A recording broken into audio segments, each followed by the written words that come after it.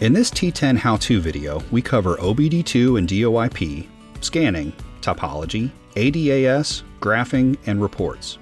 For OBD2, plug the WSM to the OBD2 cable and then into the vehicle's 16-pin data link connector. For DOIP, plug the DOIP cable to the OBD2 cable that's connected to the WSM. Plug the USB connector into the USB-A port on your scanner plug the 16-pin connector of the DOIP cable into the vehicle's data link connector. Once connected, your scanner will automatically detect the vehicle's VIN number and load relevant vehicle data for that model. Auto Detect requires an active Wi-Fi connection. If you're not connected to the internet or your scanner is unable to automatically detect the vehicle information, you can manually enter the vehicle information or load a previously entered vehicle from your scanner's history.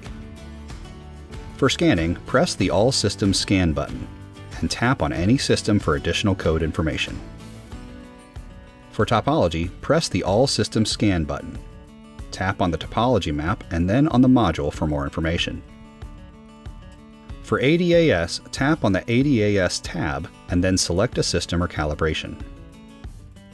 For graphing, enter the module, press Read Data Stream, select the desired PIDs and tap Graph.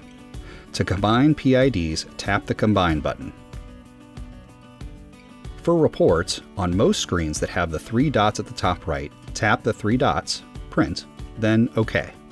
For data stream reports, tap the Report button in the bottom right, then OK. For T10 non TrueFix technical service, contact 1 877 987 4248. For non technical but access issues on TrueFix, please contact 1 800 444 3353. For TrueFix and T10 technical service, please email icondiagnostics at harborfreight.com. Icon Tools, tool truck quality, unbeatable value. Only at Harbor Freight.